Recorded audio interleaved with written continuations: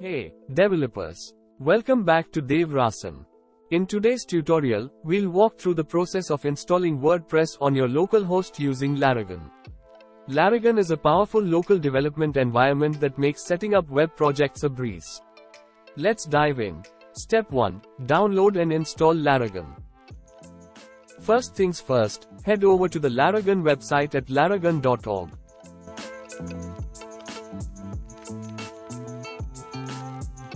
Download the latest version of Laragon and follow the installation instructions.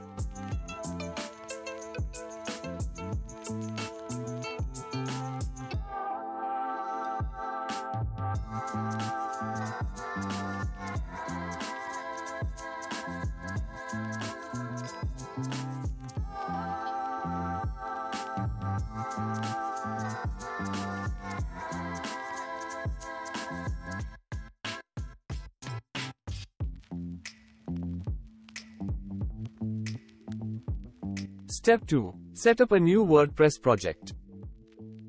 After installing Laragon, open Laragon and click the Start All button on the bottom left. Then right-click on the Laragon interface and select the Quick Apps button on the toolbar.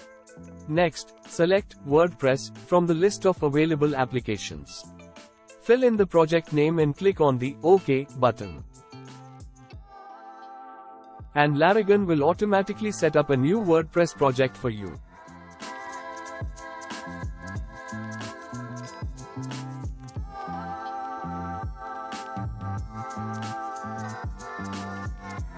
Step 3. Install WordPress. After the project setup, click on the visit site and the project will open in your browser.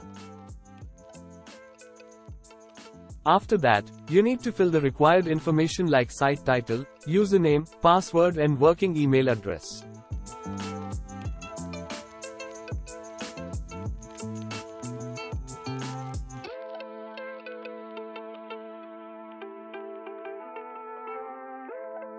Then just click on install and WordPress will be installed in your local host server.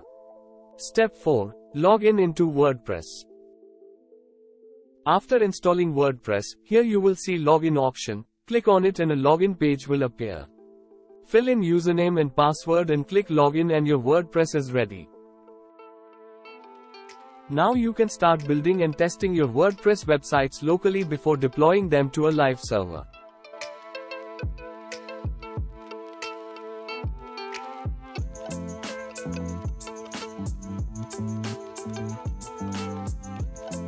I hope this tutorial is helpful.